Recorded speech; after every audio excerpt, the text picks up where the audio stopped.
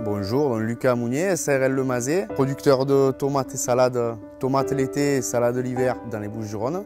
Après voilà, on cultive une tomate en sol, en pleine terre, avec, une pollinisation naturelle, une pollinisation qui se fait par les bourdons. On gère de A à Z euh, une tomate ou une salade, c'est géré de A à Z, c'est sûr.